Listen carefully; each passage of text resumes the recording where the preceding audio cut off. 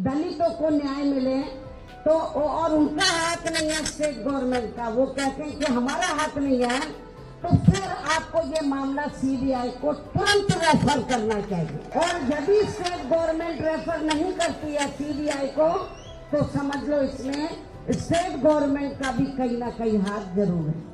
ये बसपा सुप्रीमो मायावती का चेन्नई का वो वीडियो है, जिसमें तमिलनाडु के बसपा अध्यक्ष के आर्मस्ट्रॉन्ग की हत्या के बाद मायावती उनके पार्थिव शरीर पर पुष्पांजलि अर्पित करने पहुँचे। वहाँ उन्होंने के आर्मस्ट्रॉन्ग के परिवार से मुलाकात की। फिर मंच पर जब माइक हाथ में लिया तो तमिलनाडु सरकार पर उनका गुस्सा साफ़ देखा जा सकता था। मायावती ने अपने प्रदेश अध्यक्ष की हत्या पर तमिलनाडु सरकार को घेरा। कानून व्यवस्था के धागे खोलते हुए उन्होंने कहा कि अगर आपका इस हत्याकांड में हाथ नहीं है तो इसकी जाँच सीबीआई से कराएँ। स्टेट गवर्नमेंट ये चाहती है कि हमारे आदमी को न्याय मिले, दलितों को न्याय मिले तो और उनका हाथ नहीं है स्टेट गवर्नमेंट का। वो कहते हैं कि हमारा हाथ नहीं है तो फिर आपको ये मामला सीबीआई को तुरंत रेफर करना चाहिए। और यदि स्टेट गवर्नमेंट रेफर नहीं करती है सीबीआई को तो समझ लो इसमें स्टेट गवर्नमेंट का भी कहीं ना कहीं हाथ ज़रूर है। और नहीं है तो उनको सीबीआई को रेफर करना चाहिए, ताकि ये मालूम पड़ जाए कि इसमें हाथ किसका है। इसलिए इस घटना को हमारी पार्टी ने काफ़ी गंभीरता से लिया है, और हम, हमारी पार्टी कोई चुप नहीं बैठेगी, यहाँ हमारा यूनिट भी कोई चुप नहीं बैठेगा स्टेट गवर्नमेंट पे पूरा दबाव बनाएगा कि आप यदि न्याय नहीं दे सकते तो सीबीआई को मामला रेफर करें।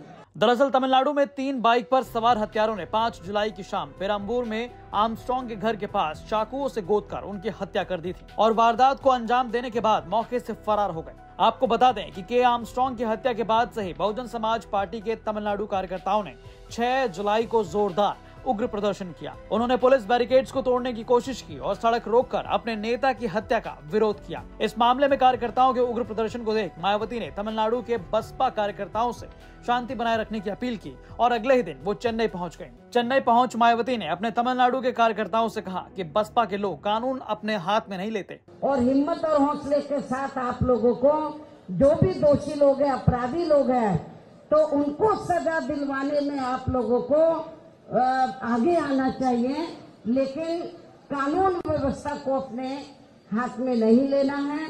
कानून व्यवस्था का पालन करते हुए आपको ये बताना है कि जो व्हीकल सेक्शन के लोग हैं, वो कानून को कभी अपने हाथ में नहीं लेते।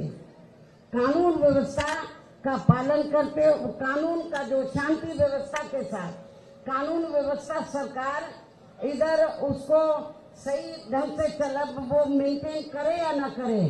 कानून व्यवस्था का वो ध्यान रखे या ना रखे? लेकिन हमारी पार्टी चाहती है कि स्टेट में कानून व्यवस्था सही हो और आप अपने, हम अपने स्टेट के प्रेसिडेंट को जो नहीं रहे, उनको न्याय दिलाने के लिए हमारी पार्टी के लोग कानून को हाथ में नहीं लेंगे। शांति व्यवस्था के साथ आप अपनी बात स्टेट गवर्नमेंट के सामने रखें और मैं मीडिया के माध्यम से स्टेट गवर्नमेंट को, यहाँ के मुख्यमंत्री को मैं ये चाहती हूँ कि यदि आपका इस घटना में आपका हाथ नहीं है तो फिर आप इस मामले को सीबीआई को ज़रूर रेफर करें। ऐसा मेरा उनको कहना है। इसके अलावा बसपा चीफ ने कहा कि आर्मस्ट्रॉन्ग की हत्या के बाद पूरे राज्य में दलितों के बीच भय पैदा हो गया है। लोग ये सोच रहे हैं कि जब प्रदेश अध्यक्ष ही सुरक्षित नहीं है तो उनकी तो बात ही छोड़ दीजिए। इसके आगे उन्होंने मुख्यमंत्री से उनकी सुरक्षा सुनिश्चित करने का आग्रह किया। उन्होंने कहा कि बसपा ने मामले को गंभीरता से लिया है। आपको बता दें कि इस मामले में चेन्नई नॉर्थ के एडिशनल कमिश्नर असरा गर्ग ने कहा कि अभी इस पूरे हत्याकांड में आठ संदिग्धों को गिरफ़्तार किया गया और कड़ी पूछताछ जारी है। In that murder case we have secured at suspect for a few minutes before this is early investigation preliminary investigation 10 teams have been formed by us. We are on the job to bring the offenders to. Sir, any clarity on the motive? Yeah, uh, yeah. There are some two, three suspicious motives. So after the interrogation of these suspects, uh, we'll find out what could be the exact motive. So, so we'll. Was he facing any weapons? Yeah, some weapons have been used. The preliminary injuries which reveal that some sharp weapons have been used.